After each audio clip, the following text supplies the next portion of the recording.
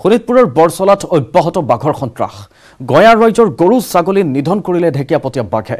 শোণিতপুৰ জিলাৰ বৰচলাৰ সমষ্টিৰ নিচলামাৰীত বাঘৰ সন্ত্ৰাস অব্যাহত আছে এতিয়াও। ওৰাং ৰাষ্ট্ৰীয় উদ্যানৰ পৰা খাদ্যৰ সন্ধানত ওলাই অহা এটা ঢেকীয়াপতীয়া বাঘে বৰচলাৰ নিচলামাৰী অঞ্চলত নিশা হ'লেই বাঘৰ ত্ৰাসে সৃষ্টি কৰে বাঘটোৱে। বিগত এসপ্তাহ ধৰি বাঘটোৱে অঞ্চলটোত উপদ্ৰৱ চলাই আছে।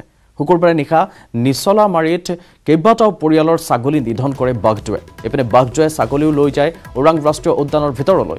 নিশা স্থানীয় ৰাইজৰ তৎপৰতাত বাঘটোক খেদি পঠিয়াবলৈ সক্ষম হয়। এই ক্ষেত্ৰত শীঘ্ৰেই বন বিভাগক বিহিত ব্যৱস্থা গ্ৰহণৰ দাবী জনাইছে। সিদিনা আমি সৌ সিদিনা দেখুৱাইছিলোঁ বাঘ এটা গঁৰালৰ ভিতৰত সোমাই আছে এনেদৰে অব্যাহত আছে এতিয়া শোণিতপুৰত। শোণিতপুৰৰ বৰচলাত বাঘৰ সন্ত্ৰাস।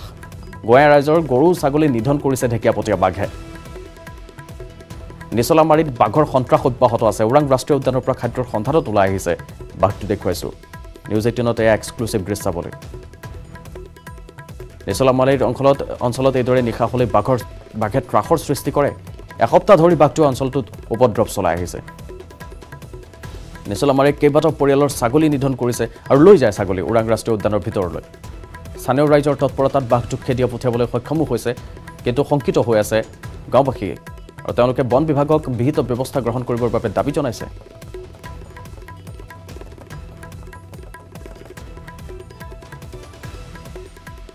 মানে সন্ত্ৰাসৰ সৃষ্টি কৰিছে। ওৰাং ৰাষ্ট্ৰীয় উদ্যানৰ পৰা বাঘটো ওলাই আহিছিলে। কেইদিনমান আগতে বুদ্ধিশ্বৰী দাসৰ নামৰ ঘৰতো গৈ তাত আতংক চলাইছিলে। যোৱা ৰাতি ৰবি হুছেইনৰ ঘৰত গোৱালিত সোমাই বাঘে ছাগলী এজনী নিধন কৰিছে। এইটো নিচলামাৰী গাঁও। ছাগলী নিধন কৰিলে। ছাগলী নিধন কৰিলে। আৰু ক'ত ক'ত কি ক্ষত- এ, ক্ষতি কৰিছে? তো ইয়াৰ পিছত আমি ৰাইজে হাল্লা কৰিছোঁ ফৰেষ্টৰ মানুহ আহিছে তাৰপিছত বাঘটো ওলাই যায়। তাৰপিছত দুই তিনি ঘণ্টামান পিছত ওচৰতে মানে গকুল অধিকাৰী মানুহজনৰ ঘৰত বাঘে সোমাই তাত দুটা ছাগলী নিধন কৰি সেইকেইটা লৈ যায়। মহানগৰীত ভয়ংকৰ অগ্নিকাণ্ডৰ ঘটনা। গীতানগৰ হাইস্কুলৰ সমীপত বিধ্বংসী জুই। অগ্নিকাণ্ডত জাহ গৈছে জিনিয়াছ ফাৰ্ণিচাৰ নামৰ দোকানখন। অগ্নি নিৰ্বাপক বাহিনীৰ কেইবাখনো গাড়ীৰে জুই নিৰ্বাপনৰ চেষ্টা কৰাৰ পিছত জুই নিৰ্বাপিত হৈছে। শ্বৰ্ট চাৰ্কিটৰ ফলতে জুইৰ সূত্ৰপাত হোৱাৰ সন্দেহ কৰিছে। বিধ্বংসী জুই দেখি আতংকিত হৈ পৰিছে অঞ্চলবাসী। এয়া খবৰ জনাইছোঁ মহানগৰীৰ মহানগৰীত ভয়ংকৰ অগ্নিকাণ্ডৰ ঘটনা সংঘটিত হৈছে। গীতানগৰ হাইস্কুলৰ সমীপতে এয়া বিধ্বংসী জুই দৃশ্য দেখুৱাইছোঁ। নিউজ এইটিনৰ দৰ্শকক অগ্নিকাণ্ডত জাহ গৈছে জিনিয়াছ ফাৰ্ণিচাৰ নামৰ দোকানখন। বিধ্বংসী জুয়ে চানি ধৰিছিল মহানগৰীৰ আকাশ। অগ্নি নিৰ্বাপক বাহিনীৰ কেইবাখনো গাড়ীৰে জুই নিৰ্বাপন কৰাৰ চেষ্টা চলোৱা হয় আৰু অৱশেষত জুই নিৰ্বাপিত হৈছে এক্সক্লুচিভ দৃশ্যাৱলী দেখুৱাইছোঁ নিউজ এইটিনৰ দৰ্শকক। দপ দপকৈ জ্বলিছে একুৰা জুই চানি ধৰিছে আকাশ মহানগৰীৰ। শ্বৰ্ট চাৰ্কিটৰ ফলতে জুইৰ সূত্ৰপাত হোৱাৰ সন্দেহ কৰিছে। বিধ্বংসী জুই দেখি আতংকিত হৈ পৰিছে। কোনো লোক হতাহত হোৱাৰ খবৰ অহা নাই যদিও বহু ডাঙৰকৈ দপদপকৈ জ্বলি গৈছিল সেই জুইকুৰা। গীতানগৰ হাইস্কুলৰ সমীপতে বিধ্বংসী জুই দেখিবলৈ পোৱা গৈছে। ওচৰতে আছিল এখন বিদ্যালয় গতিকে বিদ্যালয়খনৰ অৱশ্যে সেই খণ্ড সময়ত যিহেতু বন্ধ আছিল বিদ্যালয়খন আৰু কোনো লোকো হতাহত হোৱাৰ খবৰ অহা নাই এতিয়ালৈকে। জিনিয়াছ ফাৰ্ণিচাৰ নামৰ দোকানখনতে সংঘটিত হৈছে এই অগ্নিকাণ্ডটো শ্বৰ্ট চাৰ্কিটৰ ফলতে হৈছে। পিছত কেইবাখনো অগ্নি নিৰ্বাপক বাহিনীৰ বাহনে জুই নিৰ্বাপিত কৰিবলৈ সক্ষম হয়।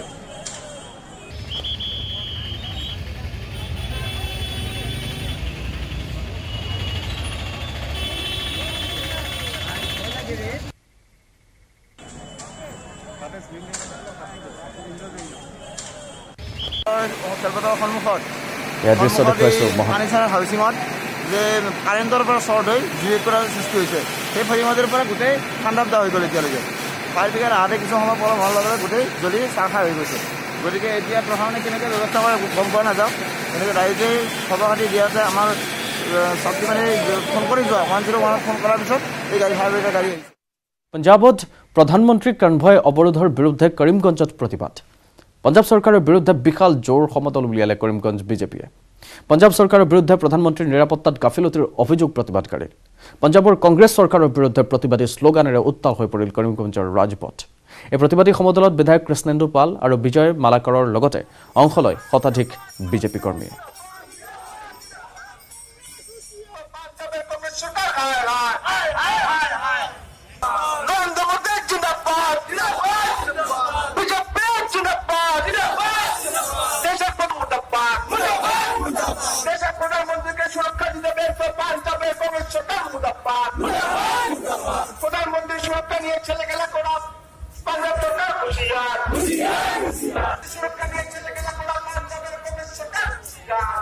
সভা আমাদের সবার শ্রদ্ধার প্রধানমন্ত্রী মাননীয় নরেন্দ্র মোদীজি Punjab সফরকালে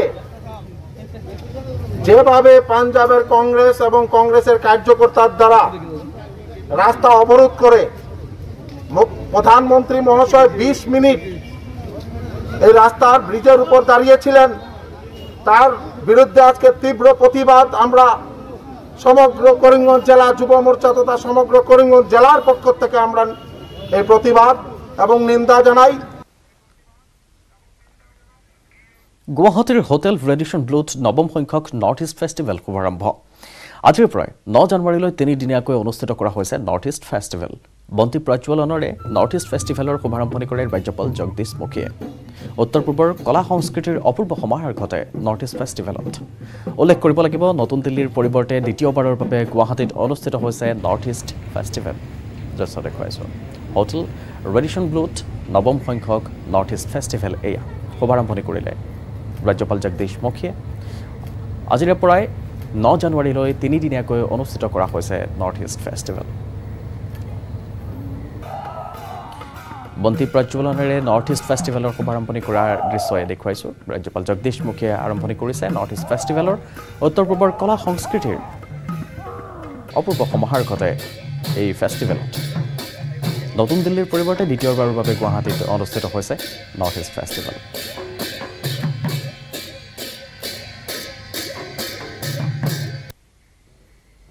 Northeast function in New Delhi at three years back.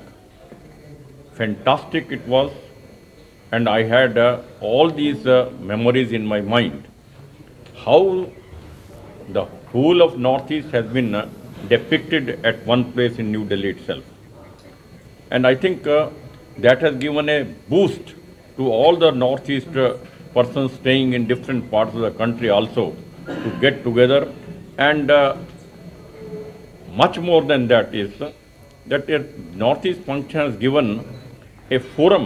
মহাবিদ্যালয়ৰ নিৰ্বাচনৰ মনোনয়নক কেন্দ্ৰ কৰি বিশ্বনাথ মহাবিদ্যালয়ত উত্তেজনা। মহাবিদ্যালয় কৰ্তৃপক্ষৰ বিৰুদ্ধে প্ৰতিবাদত নামিল ছাত্ৰ ছাত্ৰী সন্দীপ শৰ্মা আৰু মনদীপ বৰুৱা নামৰ ছাত্ৰ দুজনৰ মনোনয়ন অগ্ৰাহ্য কৰাৰ বাবে এই প্ৰতিবাদ। সন্দীপ শৰ্মাই সাধাৰণ সম্পাদক আৰু মনদীপ বৰুৱাৰ সভাপতিৰ পদত প্ৰাৰ্থিত্ব আগবঢ়াইছিল। এফালে নিৰ্বাচন প্ৰক্ৰিয়াৰ নীতি নিয়মৰ মাজেৰে চলিছে বুলি উল্লেখ কৰি এই অভিযোগ ভিত্তিহীন বুলি মন্তব্য কৰে কলেজ কৰ্তৃপক্ষই। মনোনয়ন বাতিল কৰাক লৈ এই প্ৰতিবাদ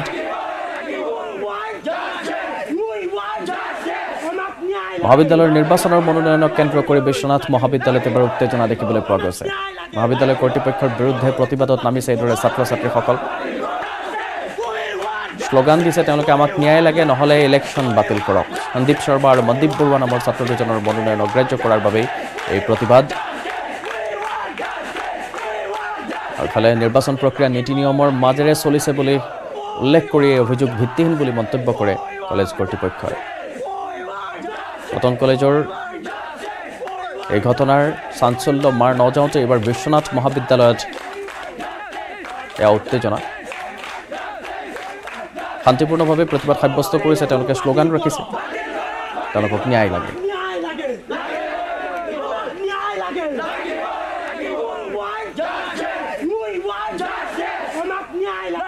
আমি সকলোৱে জানো যে যদি ফাৰ্ষ্ট চেমত বেক থাকে থাৰ্ড চেমত এক্সাম দিব লাগে ফিফ্থ চেমলৈ ৰিজাল্টটো আহি যায় আৰু তাৰ ফলত আমি যদি ৰিজাল্টটো যদি ফেইল বুলি আহে তেতিয়া যদি মই নমিনেশ্যনখন দিওঁগৈ তাত সেইখন কি হ'ব যে মোৰ নমিনেশ্যনখন ভুল আৰু এইখন বাতিল হ'ব। কিন্তু যদি মই পাছ কৰোঁ তাৰপিছত যদি মই নমিনেশ্যন দিওঁ সেইখনটো ভেলিড হ'ব মই খেলিবলৈ সুবিধা পাম।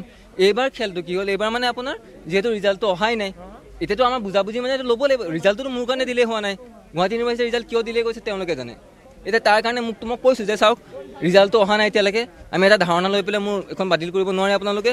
আপুনি এতিয়া মোক খেলিবলৈ সুবিধা কৰি দিয়ক। তাৰপিছত যদি কিবা কাৰণত মই খেলাৰ পিছত জিকি যাওঁ আৰু তাৰপিছত মোৰ ফেইল বুলি আহে ৰিজাল্টটোত তেতিয়া মই মোৰ পদত্যাগ কৰিম। সেইটো লিখিত হিচাপে লৈ লওক। তাৰপিছতো বুজাবুজি নাই। মই সভাপতিগত প্ৰাৰ্থিত্বত এঘাৰ জানুৱাৰীৰ পৰা কাজিৰঙাত অনুষ্ঠিত হ'ব দল হৰিণৰ গণনা। বিশ্বৰ ভিতৰত অসমতে বসতি থকা এবিধ দল হৰিণৰ গণনা বন বিভাগে পূৰ্বতে প্ৰতি বছৰে চলাই আহিছিল যদিও বিভিন্ন কাৰণত। বিগত তিনিটা বছৰ এই গণনা সম্পূৰ্ণ কৰিব পৰা নাছিল কাজিৰঙাৰ ৰাষ্ট্ৰীয় উদ্যান কৰ্তৃপক্ষই। কাজিৰঙা ৰাষ্ট্ৰীয় উদ্যানত তথা ব্যাঘ্ৰ প্ৰকল্প এলেকাক পঁয়ত্ৰিছ ভাগত বিভক্ত কৰি চৌব্বিছটা দলে হাতীৰ সহায়ত গণনা চলোৱা হ'ব বুলি জানিবলৈ দিয়ে কাজিৰঙা ৰাষ্ট্ৰীয় উদ্যানৰ গৱেষণা বিষয়া ৰবীন্দ্ৰনাথ শৰ্মাই। ৰাজ্যৰ বিভিন্ন ঠাইৰ পৰা অহা বিশেষজ্ঞ আৰু প্ৰকৃতি প্ৰেমীৰ সহযোগত চলোৱা হ'ব এই গণনা। দল হৰিণৰ তিনিটা উপ প্ৰজাতিৰ ভিতৰত ইষ্টাৰ্ণ স্পাম্প ডিয়েৰ বিশ্বৰ ভিতৰত একমাত্ৰ অসমতে পোৱা যায়। ইয়াৰ সৰ্বাধিক সংখ্যক দল হৰিণ কাজিৰঙা ৰাষ্ট্ৰীয় উদ্যানতে আছে। শেহতীয়াকৈ দুহেজাৰ সোতৰ বৰ্ষৰ এই গণনা মতে ৰাষ্ট্ৰীয় উদ্যানখনত মুঠ নশ সাতাইছটা দল হৰিণ পোৱা গৈছিল। দুহেজাৰ ষোল্ল বৰ্ষত কৰা গণনাত এহেজাৰ এশ আঠচল্লিছটা দল হৰিণ পোৱা গৈছিল। যদিও পিছৰ বছৰত ইয়াৰ সংখ্যা হ্ৰাস পোৱা দেখা যায় অহা এঘাৰ জানুৱাৰীত হ'ব লগা এই গণনাতো দল হৰিণাৰ সংখ্যা হ্ৰাস পোৱাৰ সম্ভাৱনা আছে বুলি প্ৰকাশ কৰে গৱেষণা বিষয়াগৰাকীয়ে। দল হৰিণৰ সংখ্যা হ্ৰাস পোৱাৰ অন্যতম কাৰণ কাজিৰঙাত প্ৰতি বছৰে হোৱা বানপানী বুলিও প্ৰকাশ কৰে বিষয়াগৰাকীয়ে। প্ৰস্তুতি পূৰ্ণগতিত চলি আছে। বৰ্তমান প্ৰস্তুতি শেষে বুলি ক'ব লাগিব। যিটো চোৱামজিয়াৰ এইটো ইষ্টাৰ্ণ চোৱামজিয়াৰ মানে চোৱামজিয়াৰৰ বা দ অসমীয়াত দলহৰিণ কওঁ আমি। দলহৰিণৰ তিনিটা উপ প্ৰজাতি আছে। তাৰে এটা হৈছে আমাৰ অকল অসমত পোৱা যায়। তাৰপিছত আৰু তাৰে সৰহসংখ্যক প্ৰায় ছেভেণ্টি পাৰ্চেণ্টৰ ওপৰ মানে কাজিৰঙাতহে পোৱা যায় কাজিৰঙা নেশ্যনেল পাৰ্কত বাকী অকণমান মানে মানাছ নেশ্যনেল পাৰ্কতো হৈছে আৰু ইয়াৰ পৰা নিউ মানাছত ৰিজেনেৰেশ্যন কৰা হয় মানে ৰিইনট্ৰডাকশ্যন কৰা হৈছে। ফলত হেৰি কিন্তু তথাপিও মূল হেৰিটো হৈছে আপোনাৰ বাসভূমি হৈছে গোটেই পৃথিৱীয়ে ক'ব পাৰি। উপ প্ৰজাতিটো অকল অসমত ভোগালীৰ খবৰলৈ পুনৰ স্বাগতম। ৰাজ্যৰ চৌদিশে এতিয়া ভোগালীক আদৰাৰ প্ৰস্তুতি গাঁৱে গাঁৱে ব্যস্ততাৰ অন্তই নাই। প্ৰায় সম্পূৰ্ণ হৈ উঠিছে মেজি নিৰ্মাণ। পূৰ্বতকৈ এইবেলি ৰাজ্যে অধিক উৎসাহেৰে মাঘ বিহু পালনৰ বাবে প্ৰস্তুতি চলাইছে। গাঁৱৰ সমান্তৰালকৈ। পিছ পৰি থকা নাই গুৱাহাটী মহানগৰীও। মহানগৰীৰ বিভিন্ন অঞ্চলত চলিছে ভোগালীক আদৰাৰ প্ৰস্তুতি। মহানগৰীৰ নাৰেংগীৰ শান্তিনগৰত দেখিবলৈ পোৱা গৈছে পৰম্পৰা আৰু ৰীতি নীতিৰে ভোগালীক আদৰাৰ প্ৰস্তুতি। অজয় বৰ্মনে দেখুৱাব সামগ্ৰিক পৰিৱেশ।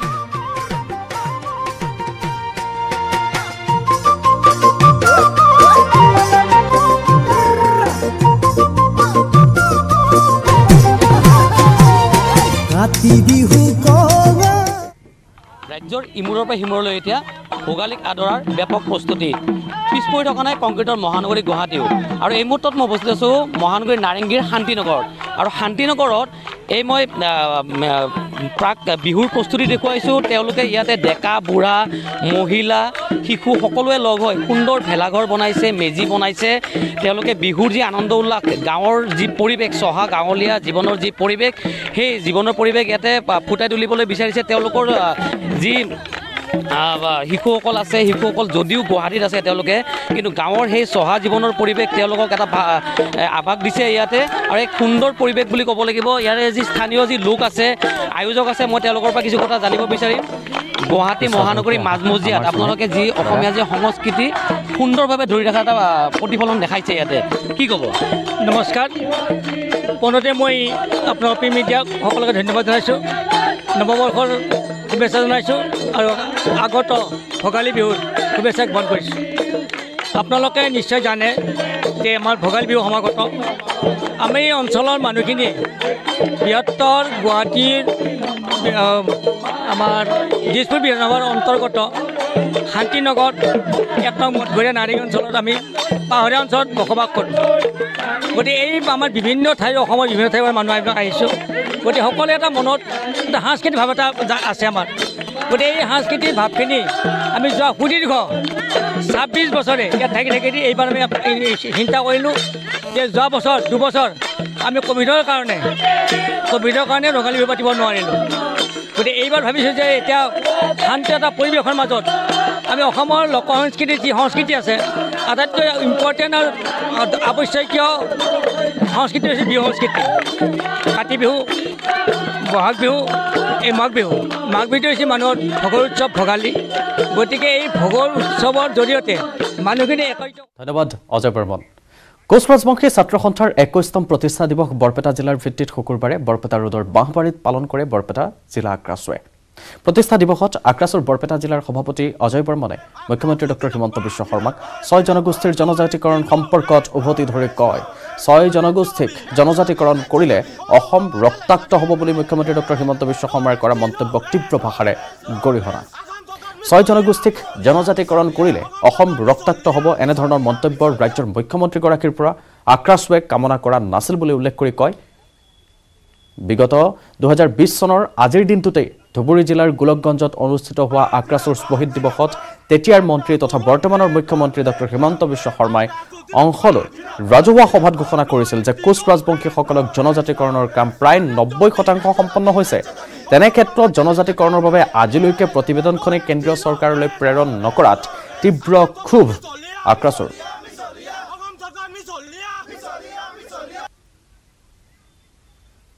মাননীয় মুখ্যমন্ত্ৰীয়ে যদি এনেকুৱা ধৰণৰ মন্তব্য আগবঢ়ায় যে ছয় জনগোষ্ঠীক যদি জনজাতন কৰা হয় অসম অসম ৰক্তাক্ত হ'ব এই ধৰণৰ মন্তব্য আমি কেতিয়াও কেতিয়াও বিচৰা নাই।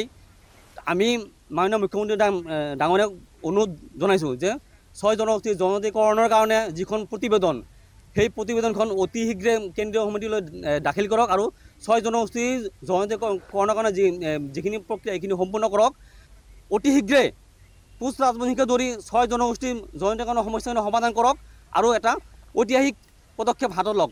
অন্যথা আমি কিন্তু ছাত্ৰহঁতৰ লগতে ছয় জনগোষ্ঠী মিলি এক জংগী জংগী আন্দোলন আমি হাতত ল'বলৈ কিন্তু বাধ্য। চিপাঝাৰৰ লাওজান গোপালপুৰত ৰংঘৰৰ আৰ্হিত নিৰ্মাণ কৰিছে ভেলাঘৰ।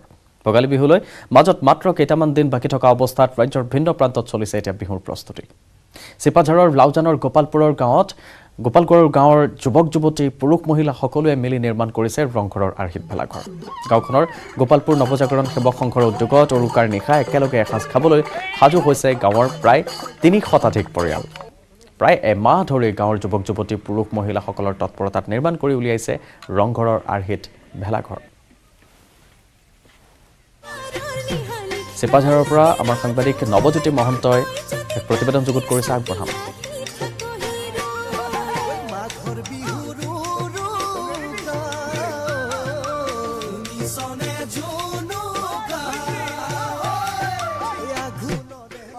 লাওজানৰ এখন গাঁৱত আৰু এই গাঁওখনৰ ৰাইজে দেখিবলৈ পোৱা গৈছে ৰংঘৰৰ আৰ্হিত তেওঁলোকে ভেলাঘৰ নিৰ্মাণ কৰিছে। কামেশ্বৰ আছে দেখুৱাব এয়া ৰংঘৰৰ আৰ্হিত গাঁৱৰ ৰাইজে ভেলাঘৰ নিৰ্মাণ কৰিছে। কামেশ্বৰ আছে দেখুৱাইছে এয়া লাওজানৰ নিকটৱৰ্তী গোপালপুৰ গাঁৱৰ দৃশ্য আৰু এই গোপালপুৰ গাঁৱত গাঁৱৰ ৰাইজে চেমনীয়াসকলে গাঁৱৰ পুৰুষ মহিলা সকলোৱে মিলি এই ধৰণে এটি বৃহৎ ভেলাঘৰ নিৰ্মাণ কৰিছে আৰু নিৰ্মাণ কৰি এই ভেলাঘৰতেই উৰুকাৰ নিশা একেলগে এসাঁজ খাবৰ কাৰণে সাজু হৈ পৰিছে। আমি দেখুৱাইছোঁ পৰিৱেশটো আচলতে আনন্দ ফূৰ্তি এক পৰিৱেশ দেখিবলৈ পোৱা গৈছে।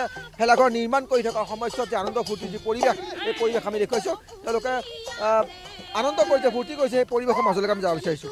ধুলিয়াই মাতি আছে নেযাও বুলি নকবা বেয়া পাব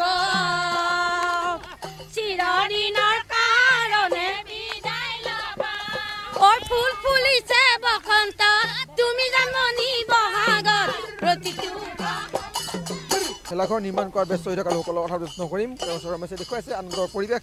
তই কি ক'ব ভেলাঘৰ বনাইছে? কি কয়? ভেলাঘৰ বনাইছে। হয় ভেলাঘৰ বনাই আছোঁ। গোপালপুৰ গাঁৱৰ ৰাইজসকলৰ গোপালপুৰ গাঁৱৰ সকলো ৰাইজ মিলি ইয়াত বেছি অৰিহণা যোগাইছে আমাৰ ডেকা বন্ধুসকলে। এই ডেকা বন্ধুসকলৰ কেইজনমানৰ উদীয়মান ডেকাৰ কেইজনমানৰ মানে প্ৰচেষ্টাত এই ৰংঘৰৰ আৰ্হিত যিটো নেকি ভেলাঘৰ বনাইছে এইটো সঁচাকৈয়ে প্ৰশংসা কৰিব লাগিব। ডেকাসকলৰ তৎপৰতাত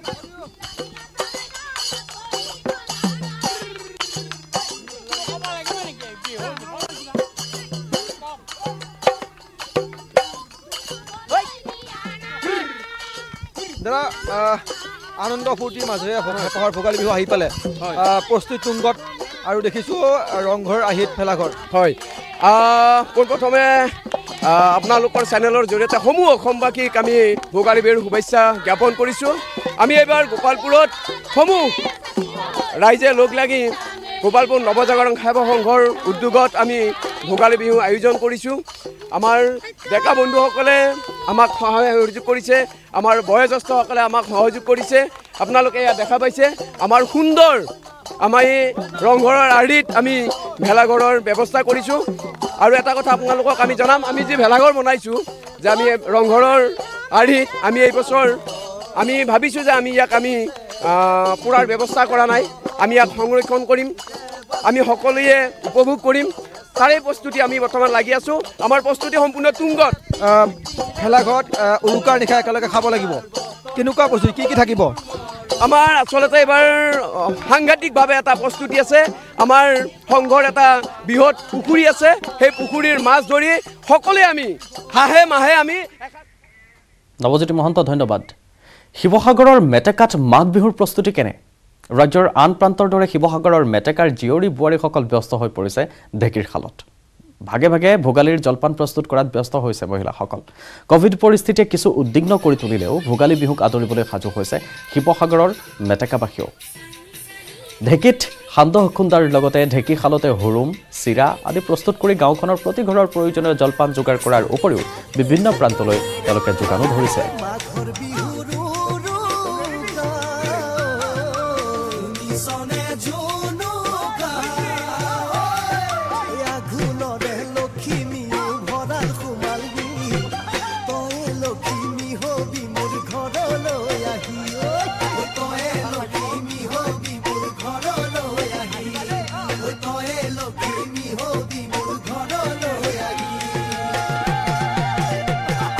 মাজত মাত্ৰ কেইটামান দিন বাকী থকা অৱস্থাত শিৱসাগৰৰ গাঁৱে গাঁৱে বৰ্তমান ঢেঁকীৰ খোলাত ব্যস্ত হৈ পৰিছে জীয়ৰী বোৱাৰী। মই বৰ্তমান উপস্থিত আছোঁ শিৱসাগৰৰ মেটেকাত আৰু মেটেকা অঞ্চলত প্ৰতি ঘৰতে বৰ্তমান দেখা গৈছে ঢে এ, ঢে- বোৱাৰীসকল ব্যস্ত হৈ পৰিছে পিঠা পনা লাৰু চিৰা সান্দহ খুন্দাত ব্যস্ত হৈ পৰিছে হুৰুম প্ৰস্তুত কৰাত ব্যস্ত হৈ পৰিছে। এয়া হৈছে মেটেকাৰ দৃশ্য। মেটেকাত ইয়াত মহিলাসকলে ঢেঁকীত ঢেঁকীশালত বৰ্তমান এইদৰেই ব্যস্ততা দেখা গৈছে। মই বৰ্তমান পোনে পোনে গৈছোঁ।